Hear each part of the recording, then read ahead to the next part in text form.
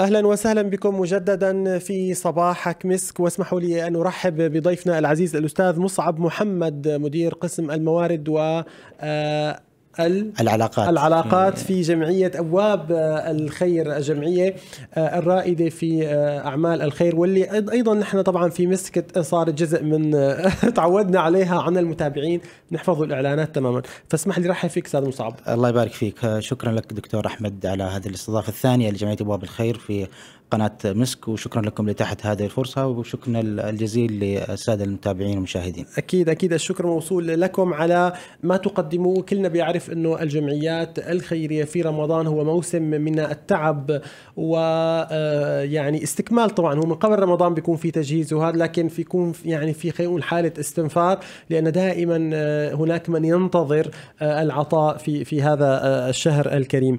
بداية قبل أن نبدأ مع بعض نتابع مع مع المتابعين آه، هذا الفيديو آه، اللي بيتحدث عن جمعية آه، أبواب الخير وبعض إنجازاتها ومشاريعها. نتابع مع بعض لو تكرمت.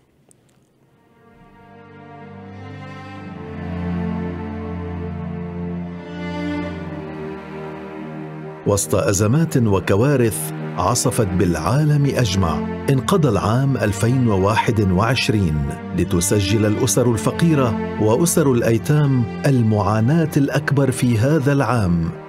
غلاء معيشي تدهور صحي كوارث طبيعية وبشرية وأوضاع أمنية تركتهم بلا عون ولا ملاذ.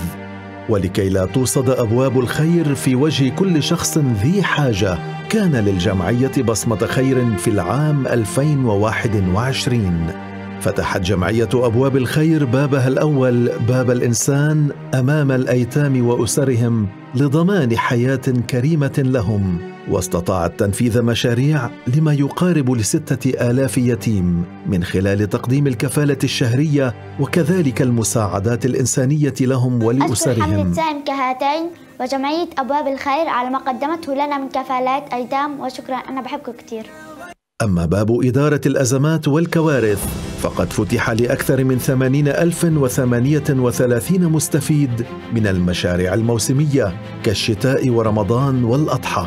وبالإضافة للمشاريع والحملات الإغاثية العاجلة في مناطق الأزمات والاحتياج ولأجل تمكينهم وتطويرهم ودمجهم في المجتمع فتحت الجمعية باب التنمية والتمكين أمام أسرها واستطاعت تنفيذ العديد من المشاريع التي تهدف إلى تحقيق أقصى أهداف التنمية المستدامة من خلال ترميم المنازل المتضررة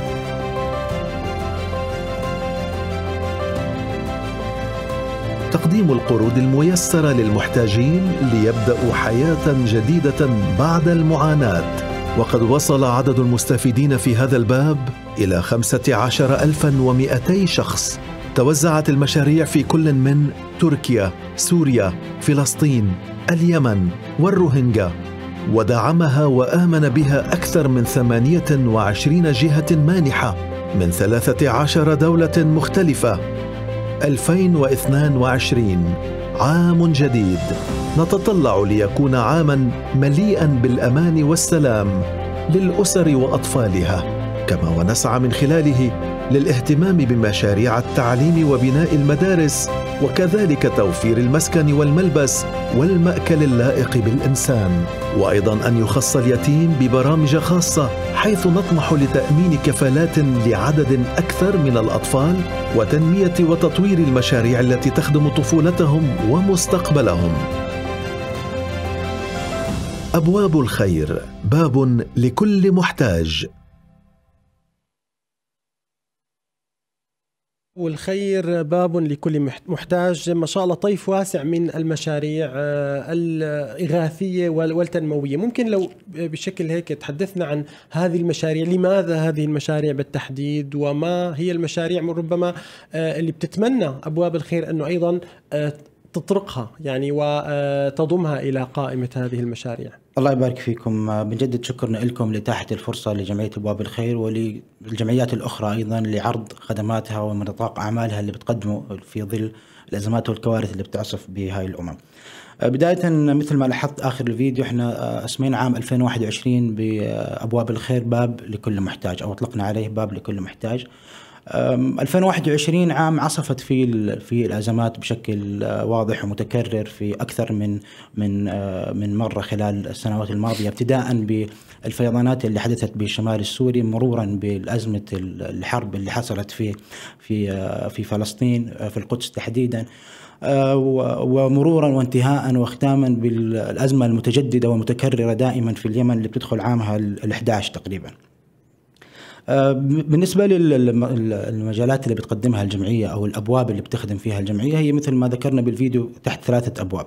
في الباب الأول كان عندنا باب الإنسان ومن هذا الباب إحنا بنأمل أو بنسعى لتحقيق آه، المشاريع الدعم النفسي للأيتام وأيضا من خلال تحقيق كفالات لهؤلاء الأيتام. الحمد لله في هذا الباب خلال 2021 في ظل هاي الأزمات اللي عصفت بالأمم آه، الحمد لله تمكنا من تحقيق قرابة 6000 مستفيد في هذا الباب الشباب منهم 700 كفالة آه، للأيتام جديدة خلال عام 2021 ومنهم آه، مشاريع آه، دعم نفسي لهؤلاء الأيتام بواقع خمس مشاريع خلال عام 2021 تمكنا فيها من تحقيق قرابة ما يقارب 5000 مستفيد من هذه المشاريع الدعم النفسي للأيتام. يعني جميل جدا. طبعا هون اسمح لي أنه أبدي ثناء على فكرة دائما الاهتمام بالبعد النفسي أيضا مع الأيتام وعدم الاكتفاء بكفالة مادية لأنه حاجة اليتيم آه، كما هي موجودة للمال آه، هي موجودة أيضا للاحتضان والاحتواء والتربية والتوجيه صحيح. طبعا أغلب الأيتام والأسر الفقيرة حتى هي بتيجي لتركيا أو لمناطق متعددة في فلسطين واليمن آه، كلها بتكون شهدت آه، مشاهد آه، مرعبة وقاسية. فما بالك يعني كيف راح تكون أثرها النفسي عليهم. لذلك دائما بنحاول نكون قريبين منهم لخلق نوع من الأمان والثقة لدى ال ال ال الأسرة إن كانت الفقيرة أو كانت اليتيمة حتى. لأنه الجانب النفسي هو الجانب الأكثر تضررا يمكن صحيح. أكثر من الجانب المادي. الجانب النفسي هو آه، متضرر كثير وأغلب الأحيان إما الواحد يعني أو الجمعيات تغفل هذا الجانب بتركز على تقديم المعونات والكفالات من غير ما تكون قريبة بشكل أساسي من الأيتام. الحمد لله إحنا أحد الجمعيات اللي بنحاول نقدم هاي المشاريع الدعم هذا البعد جميل نعم. جدا. اذا المحور الأول هو محور الإنسان وبت بشكل أخص الأيتام صحيح. لهم خلينا نقول الحصة الأكبر من صحيح. هذا المحور. صحيح. المحور الثاني. في الباب الثاني عندنا باب إدارة الأزمات والكوارث. آه، في هذا الباب بيندرج نوعين من المشاريع اللي هي الموسمية وأيضا الإغاثية اللي آه، حدثت الأزمات اللي حدثت خلال السنة كان لنا تدخل في في آه، مشاريع إغاثية وإغاثية صحية. استفاد من هذا الباب قرابة 80 ألف مستفيد وطبعا كان العنوان الأبرز أو الباب الأبرز لعام 2021 في ظل الأزمات اللي حدثت في هاي السنة. الحمد لله عندنا تقريبا 37 ألف مستفيد من مشاريع الأضحى. عندنا قرابة 15 ألف مستفيد من آه، مشاريع الشتاء. آه، في المشاريع الإغاثية تمكنا الحمد لله من تقديم آه، المساعدات إن كان في الفيضانات أو في الحرب اللي حدثت في غزة أو في الأزمات المتكررة اللي بتحدث في اليمن. تمكنا من خدمة قرابة 6000 مستفيد فقط في باب الإغاثة. والحمد لله تمكنا من تقديم أيضا إسعاف أو ثلاثة إسعافات اللي في خلال مدة الحرب اللي كانت في في قطاع غزة. آه، الباب الأخير يمكن بتلاحظ إنه الباب الأقل طرقا من قبل المتبرعين. آه، لأنه الكل بيطلع على الأزمة فبتيجي تحكي له تنمية وتمكين بحكي لك أنا خليني أركز الآن مع الأزمة اللي حاصلة. وأنا هذا كنت بدي اسالك لك أين التنمية والتمكين في آه، في في نشاطاتكم؟ لأنه هذا بعد مهم. نريد أن آه، يعني ننهي المشكلة لا أن فقط تكون دائما حالات إسعافية عاجلة. صحيح. إحنا الحمد لله حنحكي عن 22 استهلينا 22 أو عام 2022 بمشاريع تمكين وتنمية وتمكين اقتصادي في مدن في مناطق متعددة. لأنه هو الباب الأهم. أنت في النهاية أنت كل اللي بتحاول تعمله كجمعية هو إنك تحقق آه، آه، مساعدات لهذه الأسر وتحاول الأسر أيضا تحقق دخل مادي مستقل يغنيها جزئيا وبشكل آه، مع مرور الوقت يغنيها عن الاعتماد فقط على المساعدات اللي تقدم من الجمعيات الخيرية. يعني بدون شك هو أكبر إنجاز لأي جمعية خيرية أو لأي فاعل خير هو أن ينقل أسرة من حالة الحاجة إلى حالة الاكتفاء ثم تصبح ربما هي لاحقا تنتقل أيضا من حالة الاكتفاء إلى حالة العطاء ومساعدة الآخرين، يعني هذا هو الإنجاز اللي بيخفف من عدد الأسر المحتاجة ولا يبقيها دائما في دائرة الحاجة. بالطبع. شو من نماذج هذه المشاريع خلينا نقول التنموية وال يعني كان لنا مشاريع في في غزة تحديدا. آه، كثير من الأسر فقدوا آه، وظائفهم فقدوا مهنتهم. حاولنا من خلال هذه المشاريع اللي قدمناها أنه آه، نرجع الأسرة أو الفرد أو رب الأسرة إلى أن يصبح قادر على قادر على العطاء وقادر على استعادة عمله. منهم قدمنا لهم قروض ميسرة. أو عفوا منح بتكون لأنه آه، ما بننتظر آه، يرد المبلغ. نعم. القرض هو إنه يرد, يرد المبلغ صحيح. المنحة إنه يباشر عمله بشكل مباشر من غير أن يرد المبلغ. آه، كل هدفنا إنه الأسر ترجع اللي مثلا اللي عنده قارب صيد وتأثر في في الحرب. وفرنا له قارب صيد. اللي في ناس صاغت ذهب وفضة. وفرنا لهم مبلغ مادي بسيط ليساعدهم على إعادة تأسيس هاي العمل مرة أخرى. آه، يمكن أكثر باب بنحاول في 2022 إن شاء الله الأزمات تقل على هاي الأمم. آه، بنحاول في 2022 يعني آه، يكون أملنا إنه باب التنمية والتمكين أكثر باب يتم طرقه. إن كان من مشاريع تعليم وتمكين عفوا تمكين اقتصادي أو مشاريع بتعود على الدفع على الأيتام أو على الأفراد اللي هي في مشاريع التعليم تحديدا. الله. هل هل تدخل آه، ضمن هذا الباب ضمن باب التمكين أو خلينا نقول يعني مشاريع اللي هي لها أثر مستدام موضوع البيوت التي مثلا عملتم كانت جزء حسب ما شفنا بالفيديو نعم. اللي هي جزء في الشمال السوري هي البيوت بدل الخيم. نعم. كان لنا الحمد لله آه، بناء بيوت بدل خيم بدل خيمه أو بيت بدل خيمه للنازحين في مخيمات الشمال السوري. وأيضا في قطاع غزة كان لنا ترميم لقرابة 15 منزل أو 15 منزل للاسر اللي يعني تهدمت منازلهم بسبب الحرب اللي صارت عدنا لهم الأمل بإعادة ترميم هاي المنازل وأصبح إن كان في الشمال السوري أو في قطاع غزة أصبح الأسر يعني تستطيع أن تعيش في مستوى آه، معيشة مقبول حتى أفضل من ذي قبل بالتأكيد حتى جميل. إن شاء الله يحققوا جميل بالإضافة إلى أنه ما يكون يعني موضوع خلينا نقول حتى لا تكون الأزمة سنوية ودورية دائما مع كل شتاء تصبح الحياة إلى طبعا. أكثر استقرارا. آه، نأتي إلى رمضان اللي هو كما قلنا آه، في البداية هو موسم عمل الجمعيات الخيرية وموسم أيضا الذي ينتظر فيه آه، أصحاب الحاجة دائما ينتظرون العطاء من أهل العطاء. ما هي أبرز مشاريع رمضان وحملتكم التي نتابعها هي أبواب افتحوا الأبواب. صحيح. افتحوا الأبواب. طبعا افتح الأبواب آه، هو يمكن شعار المرحلة. آه، خصوصا بعد سنتين من آه، من العنوان الأبرز كان هو الإغلاقات. جميل. كان الوباء موجود. حتى كان ما في لا افطارات جمعيه ولا افطارات اللي بنشوفها في المساجد أو في البلديات. بالتالي كان يمكن شعار المرحلة المناسبه هو افتح الأبواب. جميل. حتى جميل. حتى يعني في هذا رمضان كان هناك بصيص من الأمل بإعادة الإفطارات الجماعية، بإعادة فتح الحدود، بإعادة آه، يعني فتح كافة الأبواب ومنها إن شاء الله أبواب الخير. آه، خصوصا بعد سنتين من من التباعد ومن البعد القسري إن كان للنازحين بالشمال السوري أو أو غيرهم آه، كان هناك بعد قسري ومسافة أمان اللي فرضتها أو فرضها وباء كورونا فالحمد لله 2022 كان بالشعار الأبرز هو أفتح الأبواب. آه، في هذا في رمضان الحالي حتى اللحظة ولله الحمد آه، عندنا تقريبا 4000 مستفيد من مشاريع الإفطار الصائم من مشاريع إفطار الصائم كان عندنا 4500 مستفيد تحديدا آه، من مشاريع الطرود الرمضانية أيضا كان عندنا 1140 مستفيد 1140 أسرة بواقع 6800 مستفيد تقريبا من الطرود الرمضانية أيضا أي عندنا مناطق كان توزع حول المستفيدين مناطق متعددة منها آه، طبعا بشكل رئيسي إحنا عندنا ثلاث مناطق آه، آه، فلسطين عندنا الشمال السوري وعندنا أيضا اليمن, اليمن تحديدا وتركيا بطبيعة الحال راح نتحدث عن المشروع القائم جميل. خلال الفترة الجاية إن شاء الله. أيضا كان في كسوة العيد طبعا كسوة العيد من أحد المشاريع المهمة في اللي لها جانب نفسي أيضا لليتيم أو للفرد المستفيد.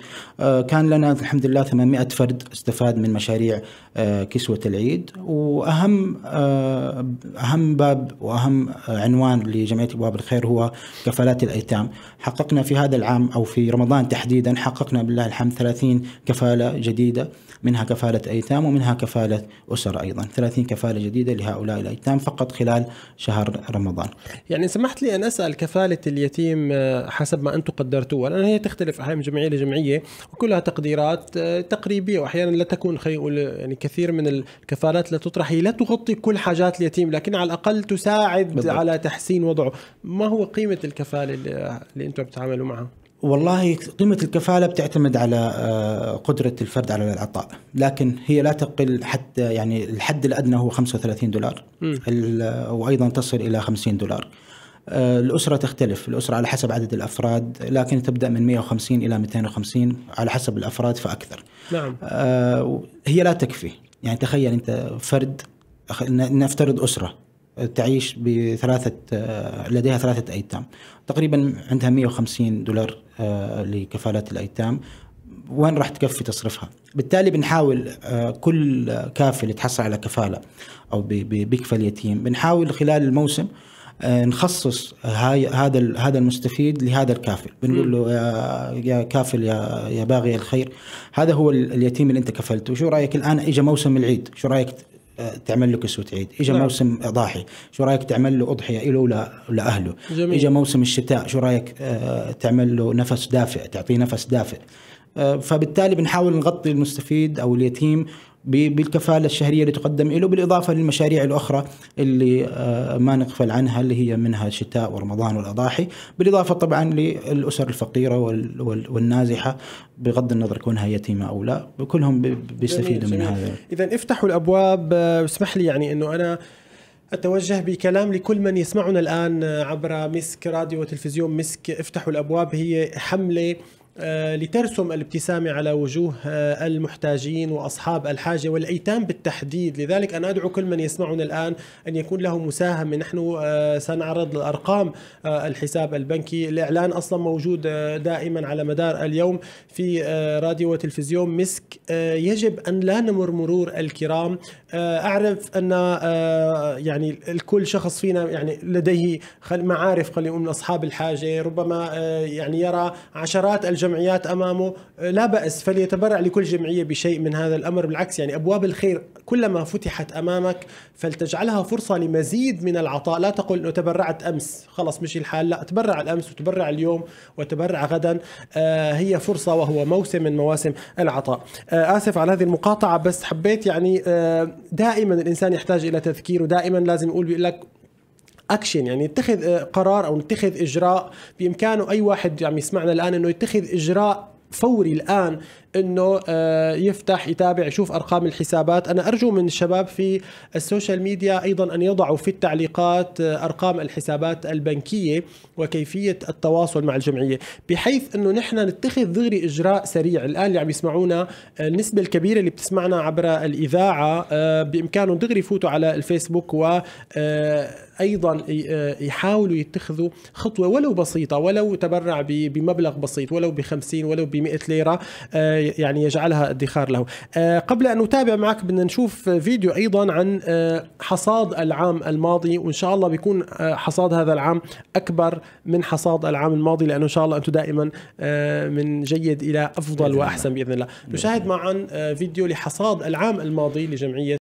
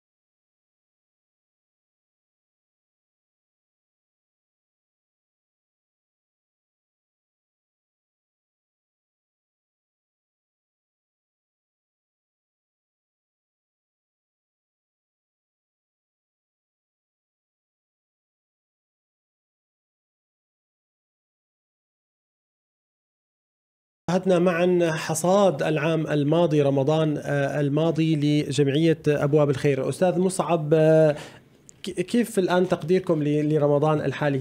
إلى أي حد سيكون إلى أي حد سيكون أفضل من رمضان الماضي؟ والله الحمد لله لو تلاحظ عدد المستفيدين في رمضان الماضي كان قريبا تقريبا 15000 أو 14000 وكسور الآن إحنا تجاوزنا هذا الرقم جميل. آه ولسه باقي آه أيام آه وهي فضيلة. أيام مهمة أيام مهمة ودائما أجود ما يكون فيها. أجود ما يكون. الليلة نحن نتحدث عن ليلة 27 ليلة القدر يعني كما يقول معظم العلماء فهي أيضا فرصة لمن يريد أن هذا. أنا شخصيا اليوم يجب أن يعني شخصيا من باب تشجيع الآخرين إنه أقوم بتبرع للجمعية في هذه الليلة المباركة بإذن الله.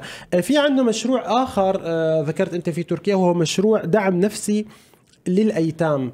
أه لو تحدثنا قليلا عن عن هذا المشروع. طبعا هذا المشروع ب آه، يعني نشكر تطبيق هامي طبعا. وهو معنا سيكون معنا هو معنا عن عبر الهاتف سيكون آه، اللي كان هو أحد الشركاء المهمين لهذا المشروع. راح يكون في بإذن الله إفطار آه راح نفطر إحنا مع الاسر مع الأسر اليتيمة.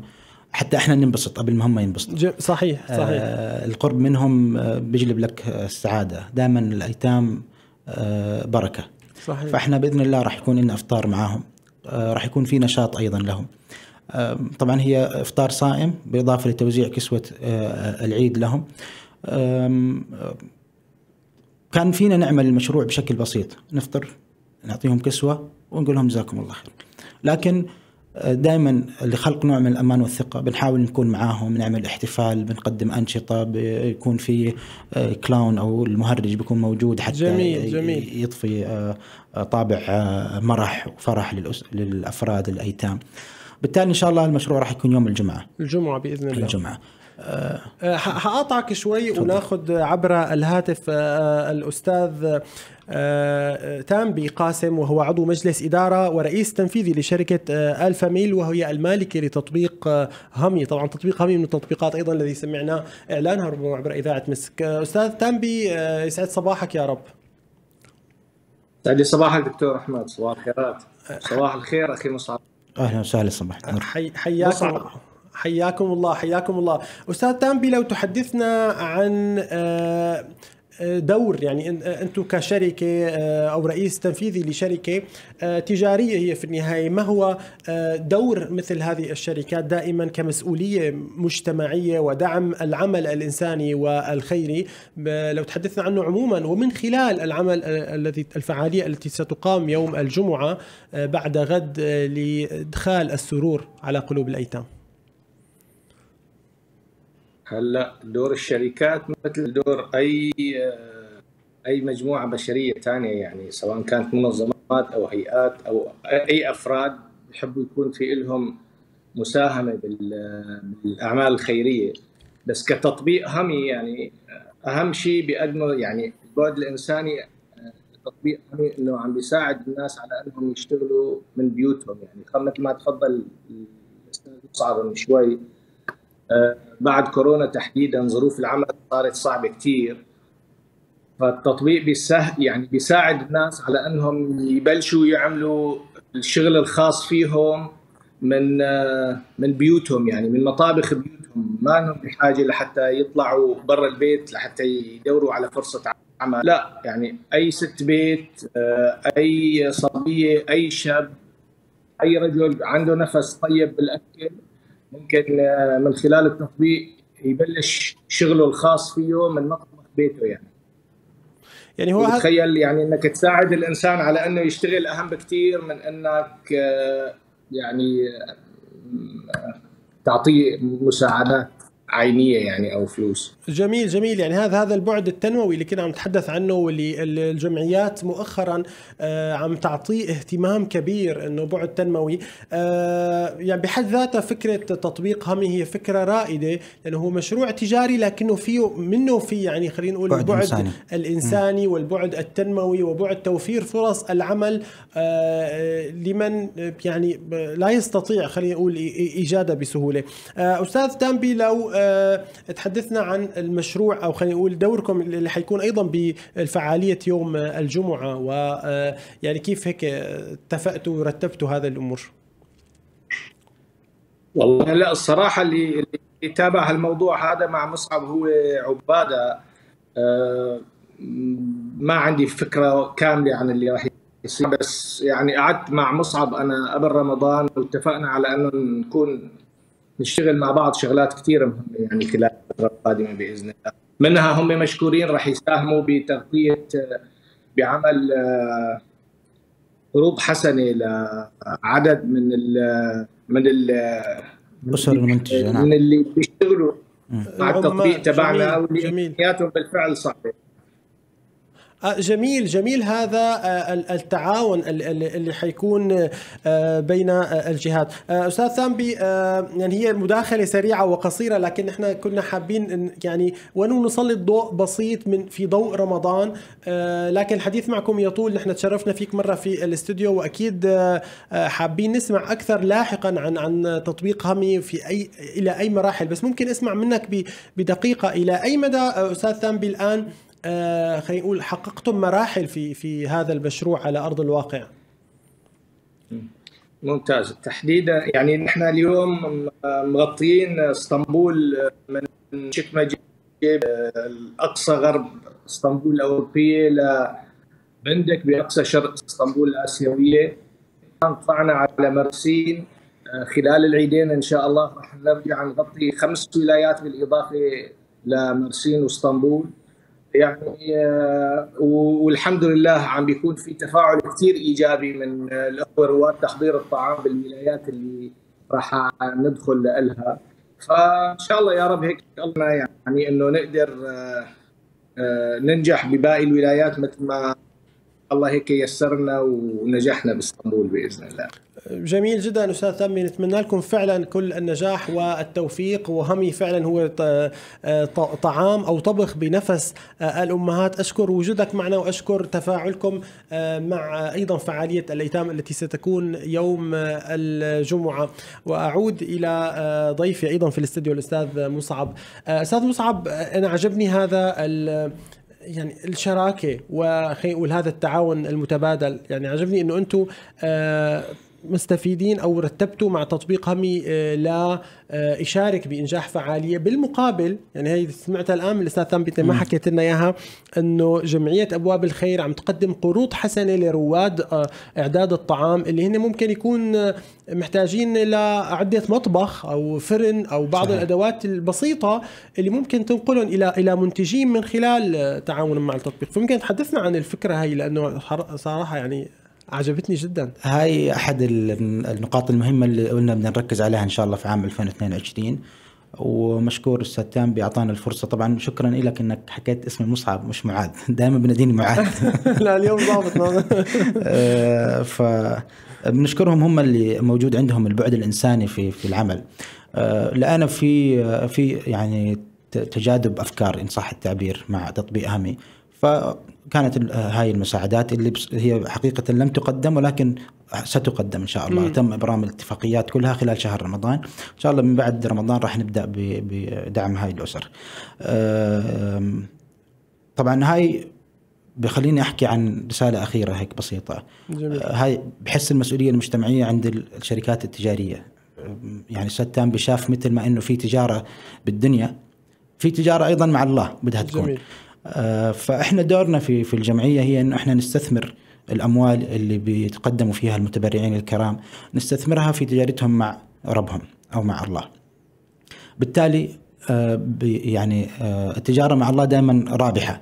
أنت لما تيجي تتاجر بالدنيا بتحسب وبتقسم وبتطرح لكن مع الله ما في منطق دائما أنت ربحان لا في اسمه. ولا في طرح ولا شيء وقانون رباني واضح يعرفه الصغير والكبير ما نقص مال من صدقة صحيح, آه،. قد لا تجدها بزيادة راتب لكن بتتلمسها في بركة مالك في آه، مشروع ربنا بيحفظك منه آه، من خسارة أموالك بسبب ما نقص مال من يعني صدقة فعلا الإنسان بيلمسها. يعني ما أظن في حدا تصدق بعدين قال لي هالشهر سبحان الله انكسرت لأني تصدقت. يعني هي خلص هي بتجي آه، باكج واحد وما بيشعر فيها. بالعكس كما قلنا غالبا ما يشعر ببركة معينة أو دخل إضافي غير غير خلينا نقول منتظر. أو كما قلت بركة إنه والله الحمد لله هالشهر كان في بركة وكفاني المبلغ نفسه اللي بالعادة آه، صحيح. يق- يقصر يعني عني هي كمان هذا التعاون الثالث مع مع شركات تجارية موجودة بتركيا هو التعاون الثالث آه، ومن هاي المنبر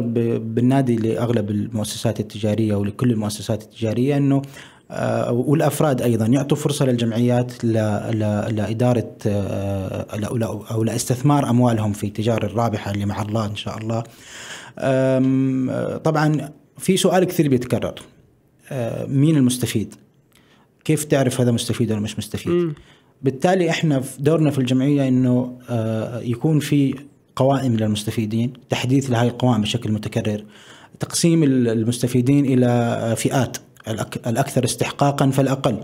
بالتالي بنحاول نسعى في إنه نسبة الخطأ لا تد يعني ما ما تتجاوز 5% إنه تروح لمستفيد قد يكون آه، أقل استحقاقا من غيره، لكن بنحاول من خلال هاي القوائم وتحديثها بشكل متكرر إنه ال- ال- ال- ال- المال الم- المتبرع به يروح إلى الأسر المستحقة أو الأكثر استحقاقا. جميل. وهذا ما جميل جداً. ب- يعني نتذكر آه، يمكن هو حديث بصراحة لكن ما بعرف. الآن تخطئ في في الع- العطاء. خير أن تخطئ في المنع. بالمنع فأعتقد إنه هو حديث أو كما قال صلى الله عليه وسلم. يعني ربما لم أو- يكن حديث يكون قول يعني آه، أحد الصالحين. وهو يعني آه، نعم. صحيح من حيث المبدأ. وبنحب نذكر بآخر آه، نقطة أطلنا كثيرا. لا ابدا ابدا. وفي أنا نقطة أنا بدي أعقب عليها. هلأ اسمح لي بعد ما تفضل. أسمع. لا أنت بس حتعطيني وقت زيادة. تفضل تفضل. لا, مايك لك أنا حقيقة أريد يعني آه وإن كان ربما يعني هو على الهوى ليس مكان للثناء والمدح. آه لكن أنا لمست عندك شخصيا وأنا آه يعني أسعد بهذا الأمر. آه نفس الرغبة في التطوير وفي محاولة فتح أبواب جديدة. لمست الآن أكثر لما عرفت عن شراكتكم مع همي وأنا ما كان لي خبر عنها وقت وجلسنا جلساتنا الأولى. آه، فكرة الاستفادة وال- والعطاء المتبادل. يعني هذا الحرص من آه، آه، شخص يعمل في الجمعيات الخيرية على الخروج من إطار المألوف في العمل الخيري. إطار انه جمع تبرعات وإعطاء مباشرة بنفس النمط إلى محاولة الت- الإبداع سواء كان باسم حملة ب- بشراكة مع جمعية أخرى مع مؤسسة مع شركة مانحة مع رجال أعمال حتى مع خلينا نقول وسائل إعلام. هذا كله الامانه يعني محل ثناء. و آه، يعني لذلك حبيت صراحة أعبر عن عن إعجابي بهذا الأمر. متمني لكم التوفيق. ولما الواحد يبدأ بخطوات فيها هذا هذا الإبداع ومحاولة التطوير متأكد أنا إنه هو سيصل وي- ويحقق الكثير من من غاياته. طبعا آه، شكرا لهذه اللفتة الجميلة لكن آه، أكيد هذا كله تكاتف آه، عمل افراد المؤسسة اللي موجودين أكيد، بنوجه. لهم التحية. طبعا أكيد بيتابعونا. آه، فلولا لولا الله ثم هذا الفريق ما كان آه، جمعية أبواب الخير وصلت ل- ل- لهذه المنصة تحديدا أو لهذا التطور. ودائما أملنا إن شاء الله دائما يكون في تميز في طرح المشاريع وإن كان هناك رتابة في المشاريع لأغلب جمعية لأغلب الجمعيات وهو شيء ما فيك تستغني عنه لأنه ما فيك تحكي والله ما فينا نقدم طرد غذائي طالما هناك احتياج فأنت يجب أن آه، يعني تستمر صحيح. بتقديم صحيح. مثل هكذا معونات. آه، بحب أذكر وأنوه بالمشروع الأخير اللي راح يكون إن شاء الله يوم الجمعة آه، وبالنادي أهل الخير آه، اللي في مجال يشارك آه، في بعض ال- الأفراد ما عندهم ثقة بالمؤسسات أو الجمعيات الخيرية حتى هدول بنقول لهم فيك تروح ل LC Waikiki أو سوينا لهم دعايه مجانية. فيك تروح لبعض المتاجر تطلب منهم كرت. بقيمه 200 300 ليرة. نعم. آه، تقدموا للجمعية وبالتالي إحنا هيك ما بنكون استلمنا منكم مصاري بنكون استلمنا منكم معونات. هاي المعونات راح تروح مباشرة للمستفيدين اللي في في يوم الجمعة. إن كان من ماركت غذائي فيك تتحصل على هذا الكرت أو إن صحيح. كان من جميل، جميل. من ماركت ملابس فيك تتحصل على هذا الكرت. حتى آه، يزيد عدد المستفيدين يوم الجمعة. إن شاء الله الإفطار راح يكون يوم الجمعة أكيد المغرب راح يكون في احتفال أيضا. اللي قادر يشارك بالمال الحسابات البنكية صارت موجودة. صحيح اللي قادر يشارك ب... ب... بال... بال... بالكرت في يتواصل معنا على الرقم 0537923663 حافظ. ما شاء الله. فيكم تشاركوا معنا أجود ما يكون آه، إذا ربنا بيكون آه، أجود ما يكون في هذا الشهر أو في هذه الأيام الفضيلة فما بالك فينا إحنا اللي لازم نكون أجود ما يكون هو في هذا الشهر الفضيل يعني على سنة النبي محمد عليه الصلاة والسلام الذي كان أجود ما يكون في رمضان كان كالريح المرسلة. تخيل الريح وهي دائما وين ما تروح عم تنشر الخير عم تنشر الغيث أو عم تنشر خلينا نقول حبات اللقاح ربما تأخذ بهذه المعاني. فاذا مرة أخرى أشكرك على على وجودك معنا. أشكركم على هذه الجهود الرائعة. رائعة أشجع مرة أخرى كل المستمعين آه، حتى أشجعهم على مشاركة منشور آه، آه، الحلقة من أو مشاركة أرقام التبرع. فربما أنت يعني تضيق بك الحال عن التبرع أو تتبرع بمبلغ قليل لكنك ممكن أنه توصل هذه الرسالة إلى من يستطيع أن يتبرع بأرقام أكبر وتأخذ الأجر مضاعف أجرك وأجره بإذن الله عز وجل. إذا باب الخير مفتوح لكل محتاج وافتحوا الأبواب في هذا العام. آه، نتمنى بإذن الله فعلا آه، عام آه، دائما أفضل من العام الماضي وبمراحل وإن شاء الله نتمنى نجاح هذه الفعالية. ننتظر إن شاء الله أن نسمع منكم عن نجاح فعالية يوم الجمعة. مرة أخرى أشكرك حقيقة على على وجودك معنا في هذا الصباح. الشكر الجزيل لقناة مسك ولحضرتك شخصيا لإتاحة الفرصة مرة أخرى لجمعية أبواب الخير لتعرض مجال أعمالها وخدماتها على المشاهدين والمتبرعين الكرام. حياكم الله حياكم الله آه، آه، هكذا أحبائي المتابعين نكون قد وصلنا إلى ختام حلقتنا لهذا آه، اليوم. حلقة بين المال في الإسلام وأهمية المال وواحدة من أهم جوانب المال هي أن ينفق فيما يرضي الله عز وجل وفي سداد حاجات الآخرين. وصولا إلى افتحوا الأبواب وجمعية افتحوا الأبواب ومشروعها الرمضاني المميز وأرقام التبرع موجودة لديكم في التعليقات. نكون قد وصلنا وصلنا إلى ختام حلقتنا لهذا اليوم. نلقاكم غدا بإذن الله في حلقة جديدة. وصباحكم مسك.